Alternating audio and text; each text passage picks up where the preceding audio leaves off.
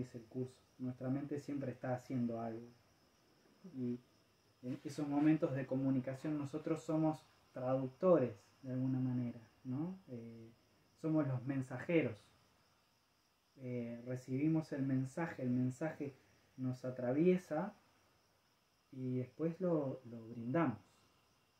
Pero no escribimos el mensaje, como dice el curso. El mensaje fue escrito por algo que está em, fuera del marco temporal, fuera del marco conceptual. Pero en algún momento nosotros lo tenemos que traer a conceptos.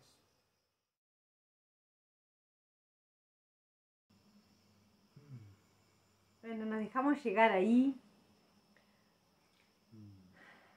A veces con, esto de la quietud, ¿no? Que nos lleva a un momento a quietar, llegar al asiento, llegar después del día.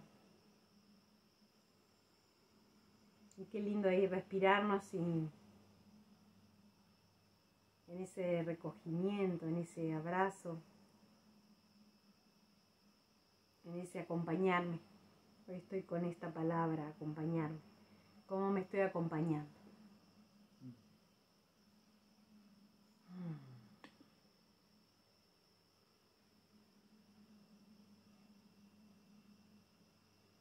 en esa respiración me acompaño y me traigo al momento presente, abriendo ahí la mente, el corazón, el entendimiento para que el conocimiento llegue. La percepción cese. No sé cómo es eso.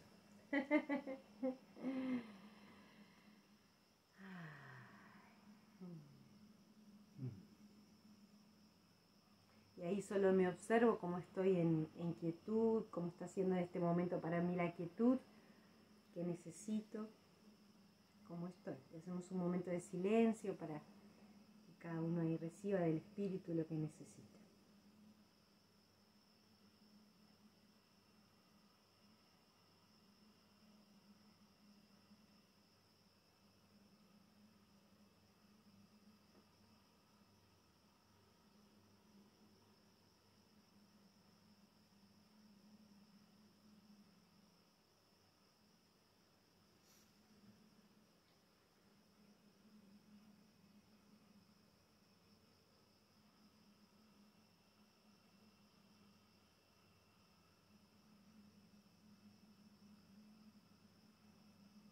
esto de cómo es acompañarme siempre, sea en este momento o en cualquier situación, en cualquier estado emocional o mental que esté, me acompaña en la presencia.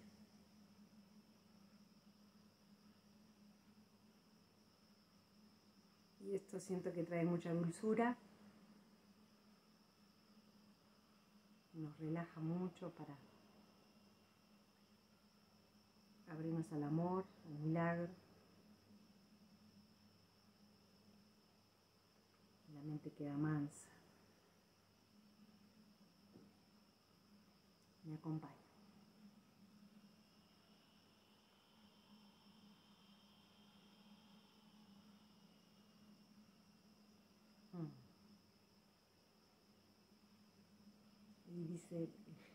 me vienen las emociones también quedan mansas cuando me acompaña, sea lo que sea que esté sintiendo, sentir la presencia. Mi compañía, que cuando estoy en ese lugar, en el centro, en la presencia, estoy con Dios, ¿no? No estoy solo. Ah, qué lindo. Gracias.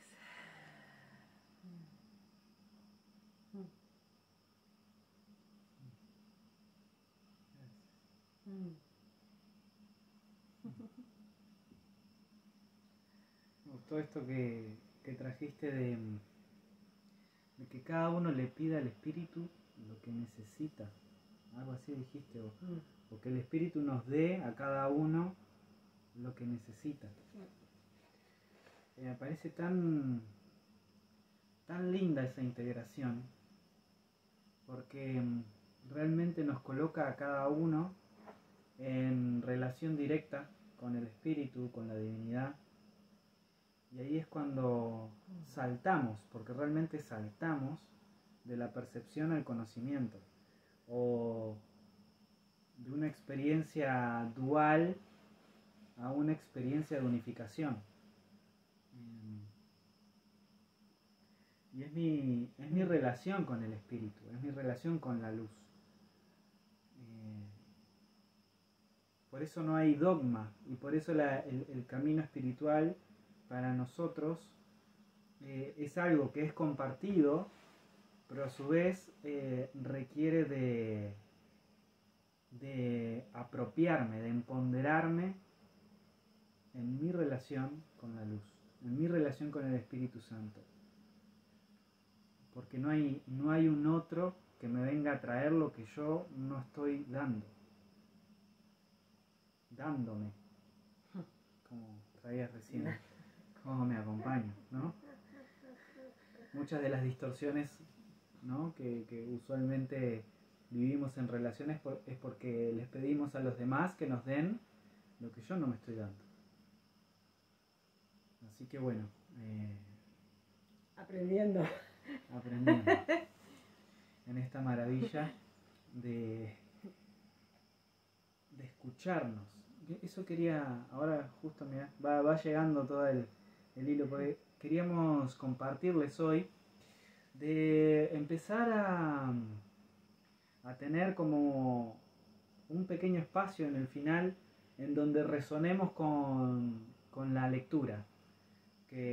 Porque si bien vamos hablando a veces, eh, vamos haciendo comentarios entre todos, vamos compartiendo, pero está bueno como dejar un tiempito al final y que cada uno resuene con la lectura, que cada uno sienta qué me movió, qué me tocó, dónde se me desencajó, qué no entendí, qué, no sé, qué me trajo paz, qué, lo que sea, alguna resonancia, porque... Mm, el tema del autoconocimiento, el tema de la autoobservación, eh, es fundamental en el curso. Conócete a ti mismo. Dice que otra manera de, resumir el curso, de resumir el plan de estudios es conócete a ti mismo. Y el ejercitar eh, qué me movió internamente, qué aspectos de mí se transformaron con esta lectura, ¿Qué pude ver con esta lectura? Y hacer el ejercicio de la autoobservación, del autoconocimiento, es un ejercicio que realmente es vital. Y cuando lo compartimos aún es más potente. Así que vamos a hacer lo, que hacemos siempre, de leer, leer, comentar y bueno, y sobre el final abrir ese, ese espacio eh, aunque también está abierto todo el tiempo, ¿no? Si en algún momento sentimos alguna resonancia o algo, también se pide la palabra y vamos para ahí. Bueno, muy bien. Mm. Entonces, vamos a lo nuestro, el error y el ego. Chan. Chan, chan. Hablando de resonancias. Vamos a resonar con este título, el error y el ego. Oh my god.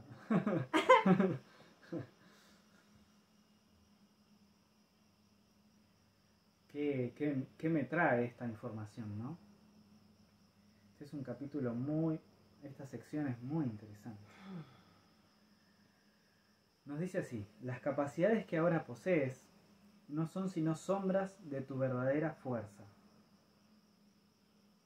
Todas las funciones que ahora tienes están divididas y son susceptibles de ser cuestionadas y puestas en duda. Esto se debe a que no tienes certeza acerca de cómo vas a usarlas y por consiguiente el conocimiento queda vedado para ti. Y este te está asimismo vedado porque todavía percibes sin amor. Antes de que la separación introdujese las nociones de grados la separación introdujese las nociones de grados, aspectos e intervalos, la percepción no existía. El espíritu no tiene niveles y todo conflicto surge como consecuencia del concepto de niveles. Todo conflicto surge como consecuencia del concepto de niveles. Si hay percepción, hay conflicto. Por ende, es necesario el perdón, mientras haya percepción. Mm. ¿Ah? El perdón tiene una función que desempeñar mientras mi mente esté ubicada en el tiempo y espacio. Mientras mi mente vea formas, conceptos, situaciones, adentro y afuera, ahí el perdón va a tener una función que va a habilitar en mi mente la corrección necesaria para volver a percibir con amor.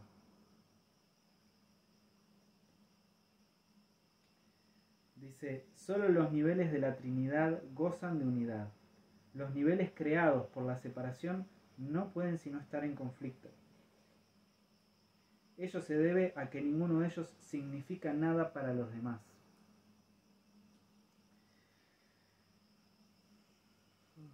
Bueno, em, acá tenemos que retomar un poco lo que estuvimos hablando la vez pasada, ¿no? La diferencia entre percepción y, y conocimiento. Todo lo que está basado en la percepción es todo lo temporal. El conocimiento es lo eterno. Y nuestra mente está dividida y experimentando las dos a la vez. Y lo que hace eh, nuestra conciencia o nuestra identificación, no, no, quiero, no son lo mismo. La nuestro mecanismo de identificación hace que estemos o en una o que miremos hacia la otra. Porque estar en la otra es ya salirse de, de, todo, de la expiación, completar la expiación y, volver a, reunirme con el Padre. O sea, cuando lo que sucede con la mente es que o me identifico con la separación o me identifico con la expiación y por ende mi mente sirve al Espíritu Santo. ¿Y qué pasa ahí? Estoy mirando hacia la eternidad, no estoy mirando hacia la separación. El último paso lo da Dios. Así que yo no me tengo que preocupar de cuándo termina el tiempo y no sé qué. El tiempo termina cada vez que perdono. En mi mente hay algo que se libera cuando perdono. El tiempo cesa cuando perdono. Es, esa sensación de, temporalidad. Mi mente se libera de cadenas en ese momento. Pero siempre vamos a, a dejar el último paso a Dios. Eh, no es que se lo vamos a dejar, es que es así. Simplemente lo aceptamos. Todo lo que proviene, esto es muy importante, porque todo lo que proviene de Dios, nosotros tenemos que simplemente aceptarlo. Acá está el, el error y el ego y todo lo que surge de, Vieron que dice que. Ta, ta, antes de que la separación introdujese las naciones de grados, acá tenemos que, que ver el tema de la separación.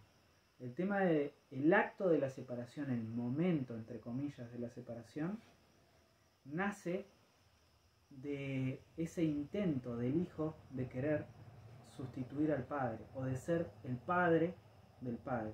¿no? o de fabricar su propio padre. Eh, entonces, en ese momento, el hijo quiere tomar el lugar del padre y quiere dejar de recibir del padre para, para estar por encima, para darle. Y en realidad al hijo le corresponde recibir. Esto es, en algún nivel es un poco matemático eh, y es simplemente así. Eh, porque estamos, no estamos hablando, incluso dice el curso que incluso nosotros podemos ver el paralelismo en la tierra de que el padre eh, genera, procrea a su hijo y su hijo puede procrear a su hijo, pero no puede procrear a su padre. O sea, las leyes del funcionamiento del universo, del funcionamiento del espíritu, simplemente son. Dios es. Entonces, lo que viene de Dios, nosotros lo recibimos. Cuando en un momento se introduce esa idea locada de decir, no, no, yo quiero hacer lo que yo quiero, y quiero salirme de esa ley, ahí se produce la separación, que es el sueño de la separación, es el sueño de creer que puedo hacer otra cosa, que no sea recibir de Dios. Siempre estamos recibiendo de Dios y lo único que sucede es que nuestra conciencia queda velada de, esa, de ese flujo, pero ese flujo está.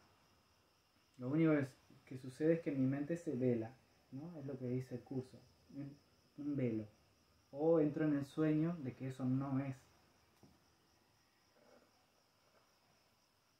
Entonces, em, el espíritu no tiene niveles y todo conflicto surge como consecuencia del concepto de niveles. Acá vamos a, entrar en el párrafo 2. Dice, la conciencia, el nivel de la percepción. Acá el curso está definiendo conciencia. Muchas veces usamos la palabra conciencia de muchas maneras. Eh, y está todo bien, pero recordemos que el curso tiene su definición de las cosas, ¿no? Le da un significado porque te está ofreciendo un sistema de pensamiento. No te está ofreciendo ideas sueltas, te está ofreciendo un sistema de pensamiento. Entonces, dentro de ese sistema de pensamiento las cosas funcionan así. Y es importante simplemente reconocer eso. La conciencia, el nivel de la percepción, fue la primera división que se produjo en la mente. Que se introdujo, perdón, que se introdujo en la mente después de la separación. Convirtiendo a la mente de esta manera en un instrumento perceptor en vez de un, de un instrumento creador.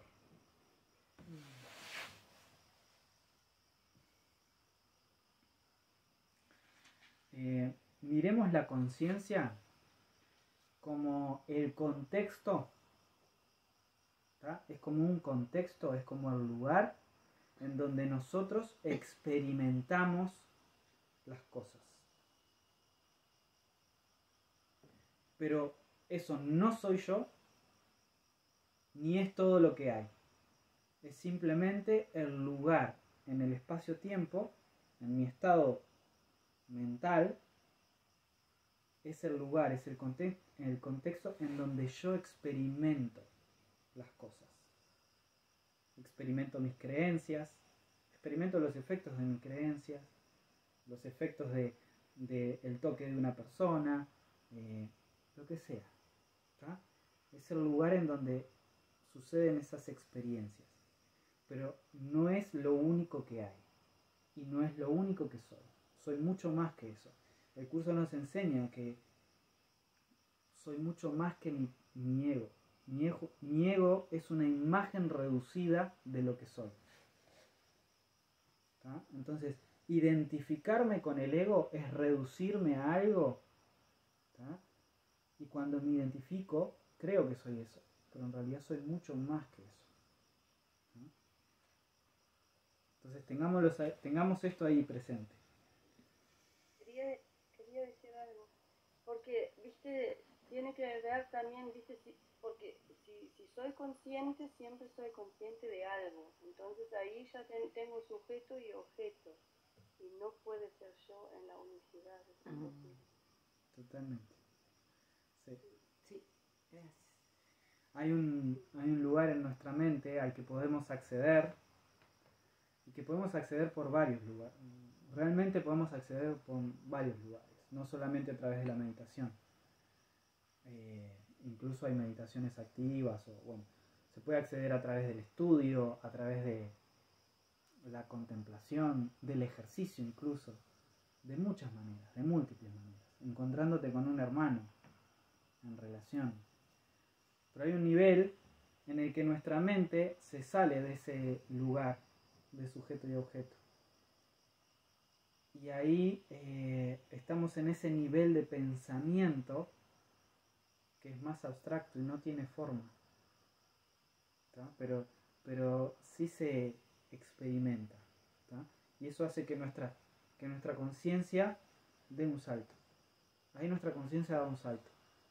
Y, y esa percepción limitada de la realidad se expande. Sigue siendo percepción, pero se expandió. Eso es lo que entendemos como expansión de la conciencia. Ah, sí. ahora entiendo más, ahora, siento, ahora entendí lo que es perdonar, o sentí lo que es perdonar, o, lo que sea, ¿no? Tuve un instante santo y estoy liberado. Sí, es como que sentís que algo se, expande, pero todavía hay conciencia, ¿no? Pero son esos momentos en donde es como que vas, tomás luz, como nos enseña Jesús, que todavía estamos haciendo este, este camino, ¿no? Vas, te encontrás con, con Cristo, contigo mismo, más allá del tiempo, y volvés. Y ahí vas haciendo. Me gusta esto que ingresa el tema del, de realmente el conocimiento, ¿no? Lo que nos quiere llevar es eso, a que podamos aprender qué es esto del conocimiento que trae la perfecta certeza, ¿no? Porque la conciencia todavía tiene como ese juego. Mm. Bueno. La conciencia ha sido correctamente identificada como perteneciente al ámbito del ego. El ego es un intento erróneo de la mente de percibirte, de percibirte tal como deseas ser, en vez de como realmente eres. Volvamos a esto, ¿no? El momento aquel de la separación. Y obviamente que yo me, yo me quería, ser el padre de mi padre. Y, no quiero ser lo que soy. Quiero ser otra cosa. Y ahí nace naturalmente todo el, todo el escenario, el periplo del ego. Eh, y bueno, es como, de ahí se desarrolla la película, ¿no? O el sueño. Sin embargo, solo te puedes conocer a ti mismo como realmente eres. Solo te puedes conocer a ti mismo como realmente eres.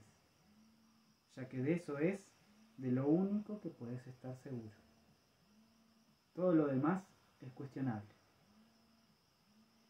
Y es esto que como decía hoy al principio, em, de trabajar la conexión con, con la divinidad, mi relación con la divinidad, porque yo tengo que conocer y solo yo puedo conocer a la divinidad.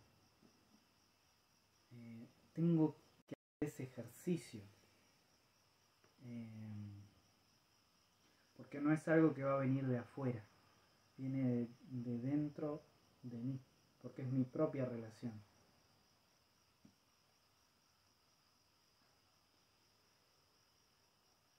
El ego. Ah, el Sí.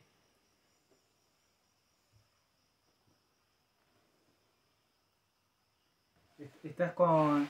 sin micrófono. Laura, estás sin micrófono. Ponete el micrófono. Ah.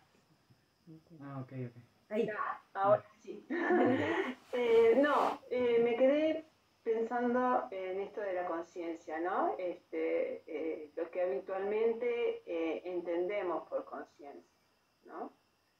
y bueno, lo que yo entiendo por conciencia. Y, o sea, yo le atribuyo a la conciencia esa capacidad de discernir lo bueno de lo malo, digamos, ¿no? O sea, es, bueno, sí, mi conciencia me dice que esto es un buen proceder o que esto es bueno, esto me va a hacer bien o esto me va a hacer mal, ¿no? Sí. Ahora, según acá, eh, la conciencia eh, sería parte del ego. Y Ah, según lo, como yo lo siento, digamos, la conciencia, bueno, estaría en contacto con el, con el Espíritu Santo, porque es claro. que, que me está comunicando que esto, esto está bien. Ah, claro. Ah, ahí tendríamos que cambiar el... O sea, la, la conciencia, simplemente ponerla como observador. Ahí vos este- estás, te estás refiriendo al observador o a la voluntad, que es la que elige o es la que entra en relación con el Espíritu Santo.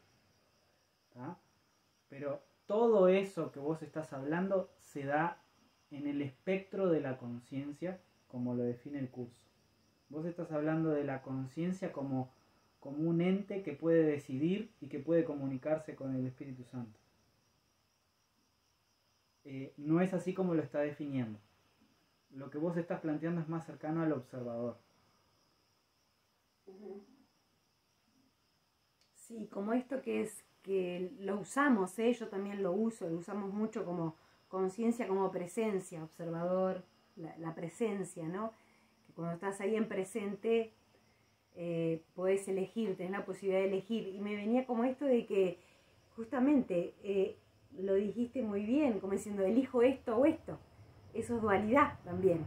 No hay ni bueno ni malo, te está proponiendo más adelante, nos va a proponer a ir a un estado mayor que es el del conocimiento, que ahí hay una certeza total, ¿no? Entonces ya no tengo ni que elegir, ni es bueno ni es malo, es una certeza que voy, no hay ni siquiera como pensamiento así, ¿no? Tan, tan estricto y tan desmenuzado, esto sí, esto no, por acá, es como que vas, la certeza es que te empujan así, ¿no? Eh, eh, es como más intuitivo, no sé cómo, cómo decirlo. No sé si te sirvió, Laura.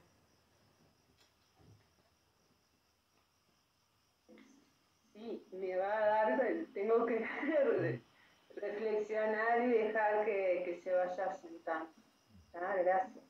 Sí, usamos conciencia, todos usamos, sí, estar consciente, Claro. pero el ego te quiere ahora traer es- esta información también. Sí, Birgit, creo que que querías Sí. hablar.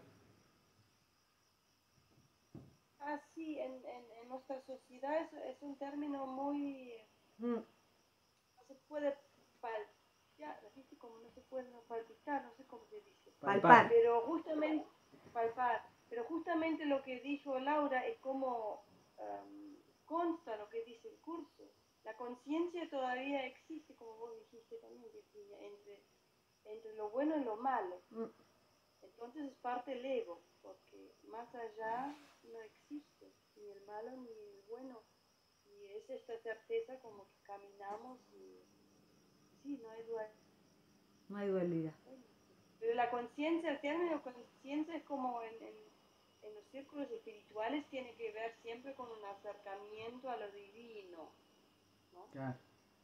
Y acá Exacto. es como se, se determina de otra forma, Totalmente. más clara tal vez. Totalmente. Sí, el, el curso hace mm, una, una distinción eh, muy simple. Te pone el ego y el ser. O el Cristo. Nada más. O sea, Sí, claro. Te trata de reducir al mínimo las opciones. O sea, porque podría poner muchos grados, etcétera, etcétera, pero en realidad reduce las opciones para que no haya más confusión. Y no es que, a ver, como, como estaba diciendo Birgit, no es que en otros espacios estén confundidos, simplemente lo usan con otro significado. O sea, es, es la misma palabra con otro significado, entonces está todo bien. Porque lo que importa es el significado. Mm. Si vos a Dios le llamás, eh, no sé, Yahvé, Alá, no importa cómo le llames, lo que importa es el significado al que vos querés eh, Mm. comunicarte o, o traer o compartir. La palabra que uses no importa.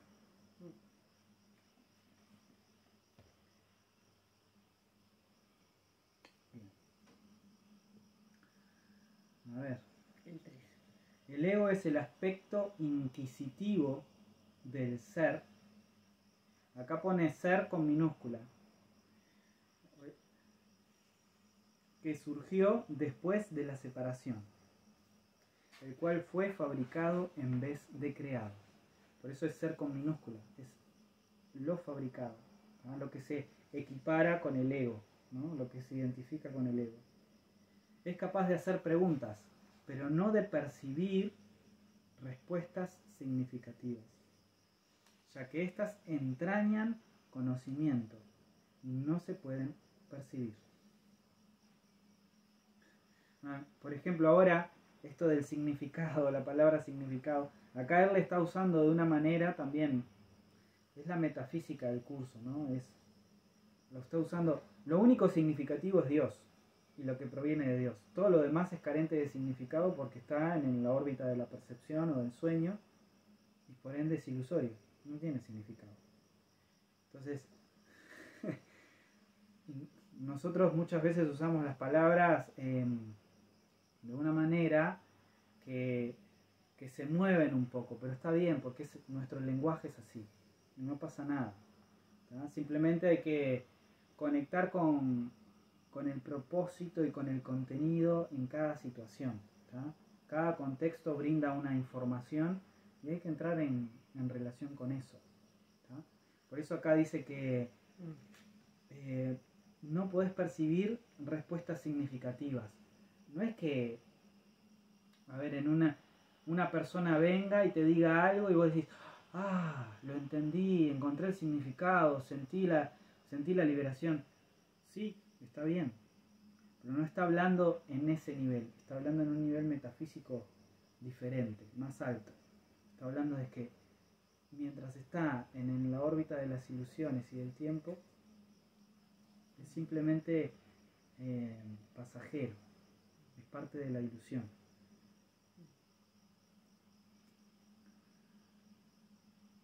Sigamos, porque esto hay mucho de esto. Dice, la mente está por consiguiente confusa, porque solo la mentalidad uno está exenta de confusión.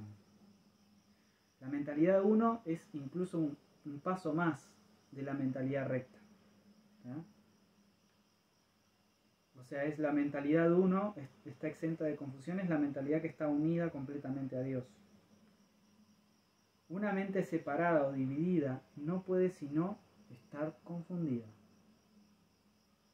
Tiene necesariamente que sentirse incierta acerca de lo que es. y no puede sino estar en conflicto, puesto que está, puesto que está en desacuerdo consigo mismo. Esta es el, una de las preguntas base en, este viaje por el tiempo y por el espacio es quién soy, ¿no? ¿Qué vine a hacer? y todas esas preguntas denotan que estamos en este nivel. Eh, y no pasa nada, porque simplemente acudimos al Espíritu Santo y listo. Pero no hay, no hay que pelearse con, con el estado eh, de aprendizaje simplemente lo, tomo como parte de, del viaje, ¿no? Y, son preguntas que, mm, que parece que por un momento están contestadas, pero en un momento de la vida aparece nuevamente esto de, wow, pensé que sabía lo que venía a hacer y resulta que, que ahora estoy sintiendo otra cosa o estoy viviendo otra cosa o creía que sabía quién era y resulta que esta situación o esta relación eh, me pone en jaque. ¡Wow! Bienvenido sea. Ah, porque está perfecto, está perfecto que, que haya transformación. El curso mm. dice que una vez que estamos acá, el cambio es lo mejor porque implica que estoy aceptando eh, el aprendizaje. El aprendizaje significa cambio. Entonces cuando estamos en esos momentos de, ya no sé quién soy, ya no sé qué estoy haciendo acá, buenísimo. Buenísimo porque se avecina un gran aprendizaje.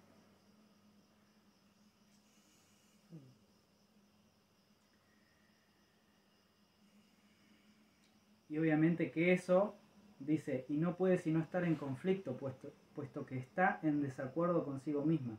Hay un momento que se siente conflicto, que no se siente bien. Que esa pregunta sin contestar no se siente bien. Porque se mueven las estructuras. Pero no pasa nada.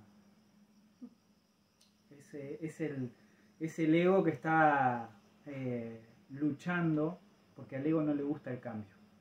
Al ego le gusta mantener el pasado. El pasado en el presente y el pasado en el futuro. Lo puede tunear, puede tunear un poquito el futuro, pero, pero siempre va a ser un reflejo del pasado. Una reacción al pasado. Dice, esto hace que sus aspectos sea- sean extraños entre sí. Volvemos a la mente, ¿no? Esto hace que sus aspectos sean extraños entre sí. Y esta es la esencia de la condición propensa al miedo, en la que el ataque está siempre, el ataque siempre tiene cabida. O sea que esta, esta situación, de alguna manera, siempre nos vuelve propensos, cuando estamos ahí siendo tentados por el, el ego, nos vuelve propensos a atacar o a sentir miedo. ¿Y ahora qué voy a hacer? Y todo lo que hice no, no valió o, lo que sea, ¿no? Eh, ya que introdujimos estas preguntas de quién soy y qué vine a hacer, ¿no? Eh, cuando entro ahí en ese momento, o ataco, me ataco a mí mismo, ataco mi vida, o siento miedo de que voy a perder todo lo que tengo, o lo que hice, lo que fabriqué.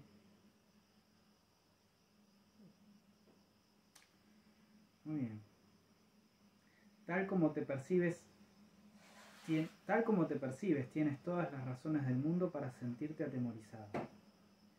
De ahí que no te puedas liberar del miedo hasta que no te des cuenta, no solo de que no te creaste a ti mismo, sino de que tampoco habrías podido hacerlo. Nunca podrás hacer que tus percepciones falsas sean verdaderas y tu creación no se ve afectada en modo alguno por tu error. Por eso es por lo que en última instancia tienes que optar por subsanar la separación.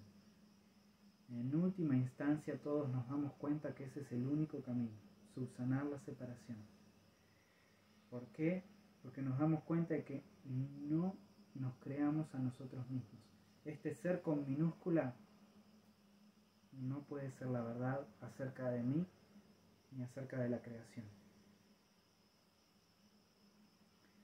Fin y al cabo llego a conectar con esa información, ¿no? Tiene que haber algo más. Y siempre viene esta información como algo más grande que yo. Algo más grande que este mundo. Así como solitario, como esta pelotita azul eh, viajando en el universo. Tiene que haber algo más. ¿no? Y ahí empieza a entrar información, porque ¿qué es la separación? Y por eso decía, em, no sé en qué parte lo decía, pero la, separación va generando fragmentos, y fragmentos, y fragmentos. Y por eso decía que ningún nivel significa nada para el otro. Porque en realidad la, eh, la separación es, es la fragmentación. Y es como el rompimiento o de alguna manera el desconocimiento de la totalidad. Pero a su vez esa partecita se sigue fragmentando, se sigue rompiendo y cree ser la totalidad. o no puede percibir la totalidad, sino que ve otros aspectos, otros fragmentos, pero no puede concebir la totalidad. Ahí está la, sensación de separación y el sistema de pensamiento.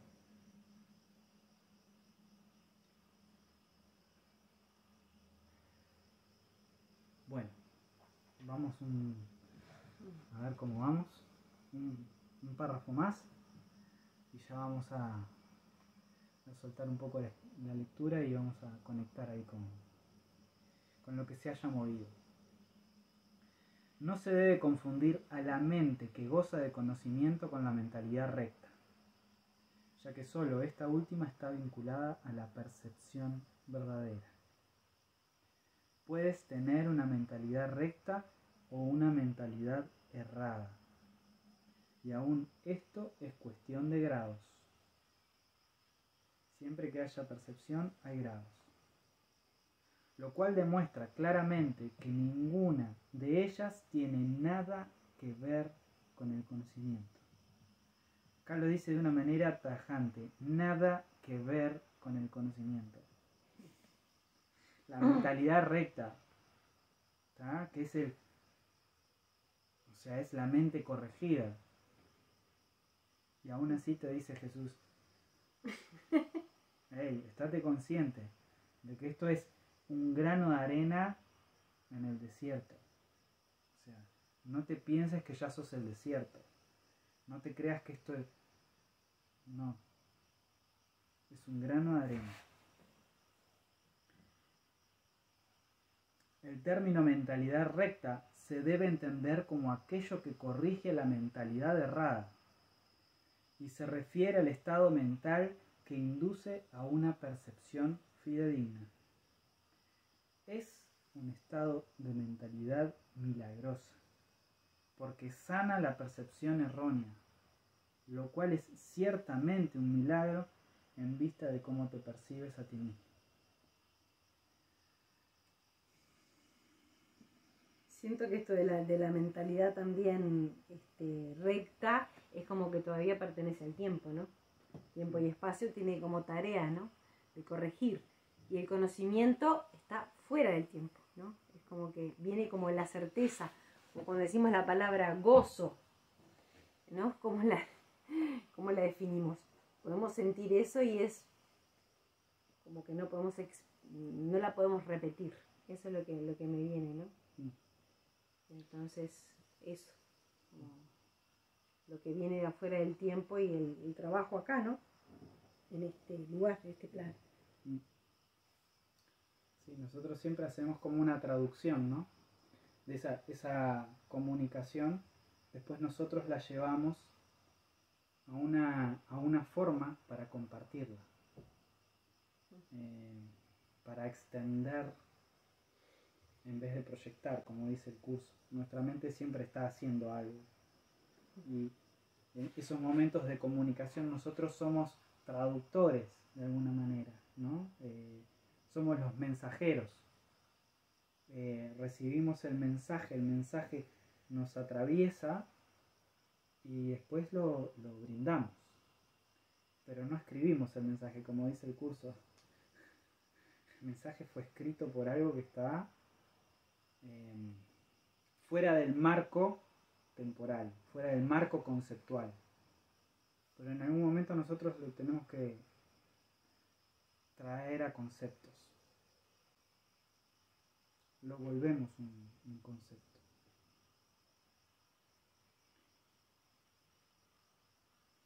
Hmm.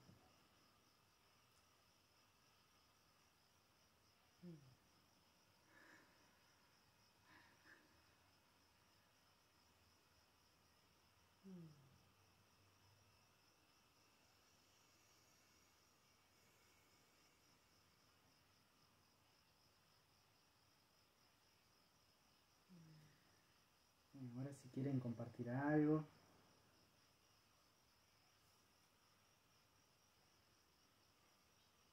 Sí, yo estoy pasando a un momento como que de verdad es como me cielo. Es casi inaguantable para mí las expresiones del ego en el mundo. Es decir, em, viste, hay momentos como, pero sin querer juzgarlo, ¿no? Porque veo que es nada más que la película. No, no es por un juicio, sino más bien como ese anhelo de encontrar esa parte de que realmente no opina, no busca y está siempre como en paz y en el amor, ¿no? Pero por momentos es como, viste, como...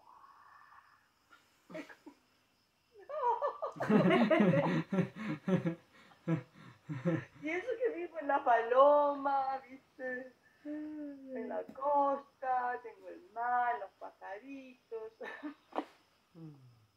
Olvídate olvídate de todas las ilusiones. Es, es tremendo y eh, de verdad espero, tengo, de alguna forma tengo la esperanza y el anhelo de que es nada más que un paso como para poder trascender esto, porque es fuerte. Es fuerte en el sentido que por momentos ya no sé qué hablar, ya no sé qué comunicar. Mm. A no ser que es una comunicación que viene del corazón y ahí no importa lo que uno habla, ¿no? Porque no tiene importancia. Pero el, el comunicarse por momento es, es lo que dice acá. En, en el transcurso, ¿no? Del, del, del, del curso, nos damos cuenta cada vez más, ¿no? De lo que es ilusión, de lo que, lo que es Nos acercamos, ¿no? Así. Chicos, no nada grande, pero eh, te lleva a estados tipo que cuesta. Y, y, y, y, tipo teniendo la conciencia que aún es el ego, como diciendo que teniendo la conciencia de que lo que me lo que, lo que percibo no es real, estando en el mundo y no poder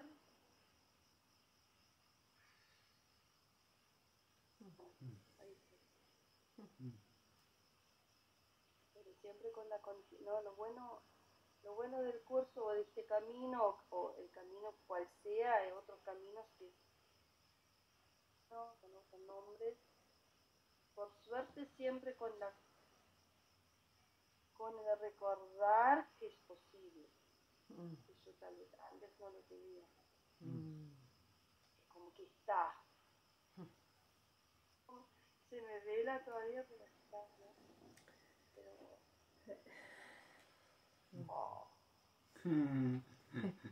cuando te das cuenta de las ilusiones y cada vez viste como pero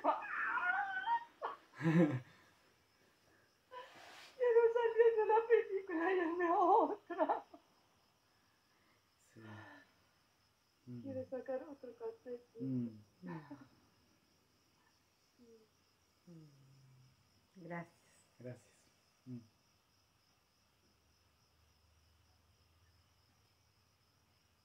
Laura.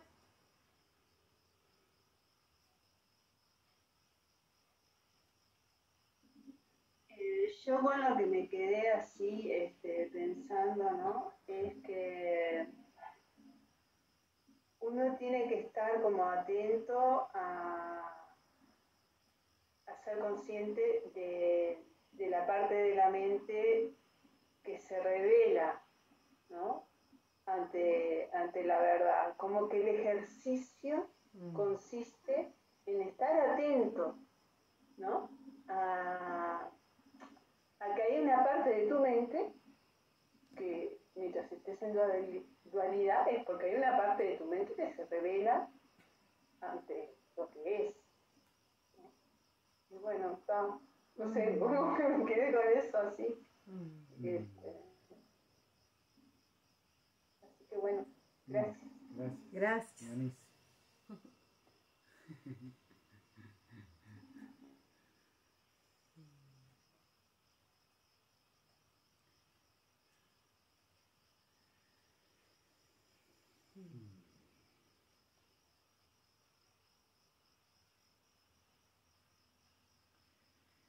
Eh, es, es- es un gran ejercicio este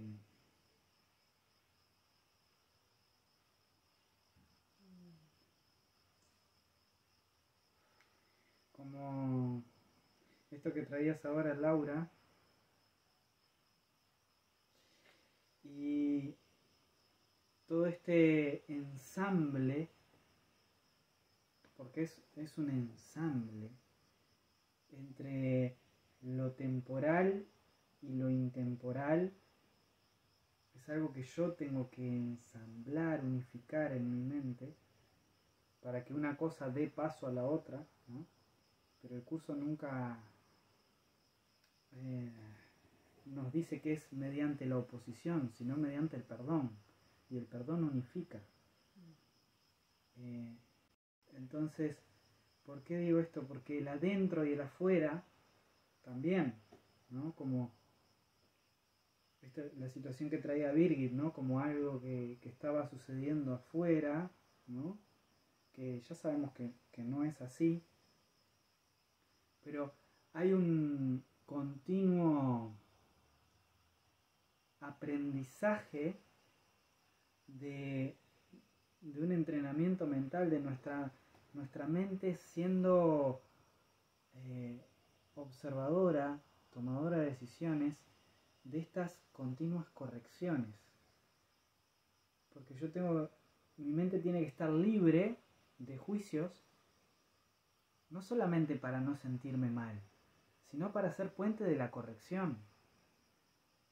Porque no tiene sentido, o sea, no es solamente para, para sentirme bien, no tener juicios, es para que mi mente esté libre y para ofrecer corrección, para, para que pueda aceptar la corrección primero y para poder ofrecerla, ¿no? En, el marco que se, me está planteando delante. Y, esta libertad que, entrenamos es la que me permite estar todo el tiempo conectando, conectando, conectando. Eh, significado y propósito. ¿Eh? Porque es muy, es muy lindo todo esto que estamos hablando y por eso a, veces hago tanto hincapié en esto de la percepción, el tiempo, con, bueno, Jesús, lo- Jesús le da hincapié y, y a mí me llevó un buen tiempo comprender y no generar oposición en mi mente, porque hubo mucho tiempo que yo oponía en mi mente. El aprendizaje, porque es temporal, con lo intemporal. Y yo me quería ir a lo intemporal y que se terminara el aprendizaje. No, macho, decidiste eh, estar acá, bueno, ahora tenés que hacer el camino de vuelta a casa y el camino de vuelta a casa implica aprendizaje o recordar, recordar la eternidad. Y bueno, recordar la eternidad toma esta forma, toma mis situaciones de vida, mis relaciones, mi trabajo. Es así como voy a recordar la eternidad. Y mi mente tiene que estar ahí, ¿no? Entrenando continuamente y haciéndola, eh, permitiéndole al Espíritu Santo, ¿no? Eh, brindarme esa información para yo actuarla. Yo la actúo. Él me la da, yo la actúo. Y ahí se, sucede la, la conexión. El instante santo, ¿no? El milagro, el colapso del tiempo. El colapso de las leyes del mundo para que se reflejen las leyes de la eternidad. Ah, linda tarea tenemos. Lo que vos dijiste ahora, por ejemplo, es, em, viste, porque en, en, en este camino lo que se te viene o a mí me viene, ¿no? Es como no querer entender, sino es como aunque parezca mentira por momentos, pero decir como, este momento es perfecto en mi vida, aunque no tengo la mínima idea por qué. Porque si empiezo a querer entender algo es peor todavía. El análisis es como, ¿no? Es, es, tiene mucho que ver con la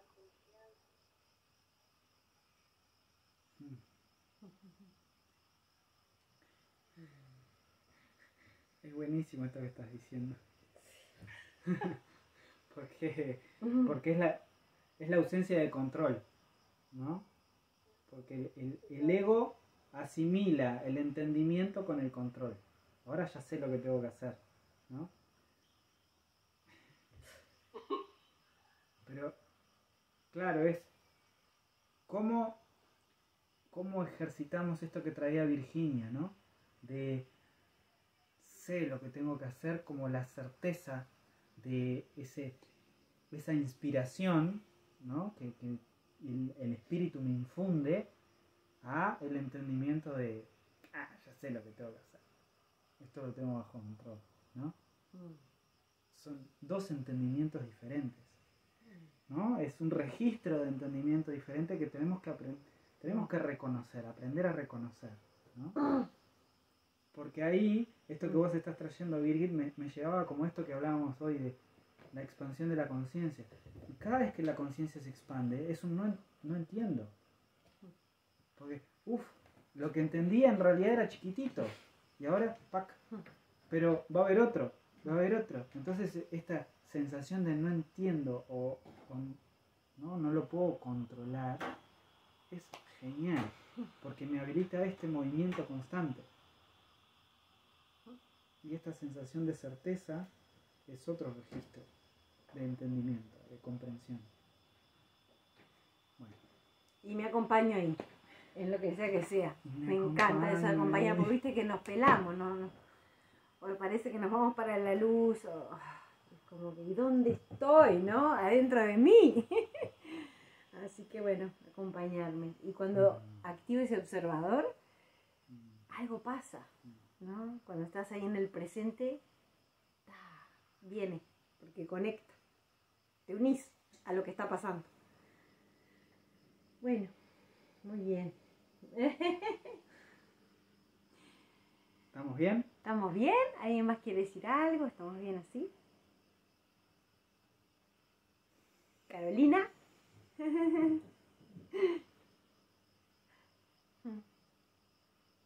yo agradecerles, eh, agradecerles a los dos y, y, bueno, no sé, a mí lo que, lo que me quedó, o sea, con lo que resoné fue con, con el principio, con, con, eso de que las funciones que creemos tener en este momento, mm. eh, como que están divididas en, bueno, no, no, sé cómo explicarlo, pero como están divididas y en realidad no, no es nuestra verdadera función y no sé, resoné con eso. Capaz que lo, no, no sé, no lo entendí bien, o sea, con las funciones, no sé. Yo sentí eso como, capaz que pensamos que nuestro propósito es uno, que tenemos, eh, no sé, que cumplir determinadas funciones, pero que en realidad no tenemos, en realidad eso que pensamos no es así porque nuestra mente está de... Y está, como es abrirnos justamente a escuchar la voz del Espíritu Santo para... Uh -huh. Sí, no, también es así. sí. Eh, y tal. Igual me pareció como un poco complejo lo que leímos, capaz que porque sí. no leímos tanto, pero me pareció bastante complejo. El resto, resoné con ese, con el principio. Complejo. Igual todo lo que fueron comentaron fue como complementando todo lo que fueron comentando y eso mm. estuvo bueno porque complementando. Mm. Sí, agradecerles. Gracias. Gracias. Gracias. Buenísimo. Bueno. Bueno. Capaz que para la próxima vemos un poquito más lo de las funciones y mm. podemos arrancar con eso. Y bueno, seguimos con la lectura. Bueno, gracias. Bueno. Bueno, Buenas noches. Chao. Gracias. Chao, chao. Gracias. Chao. Gracias. Gracias. Pues, ¿Portaste? Bien, me porté bastante bien, ¿eh? Después agarré. Te portaste, te, te bien. Voy a poner agua para los fríos que me cago de hambre. Después agarré dos bajaditas ahí, pero me autocontrolé. Qué lindo, viste que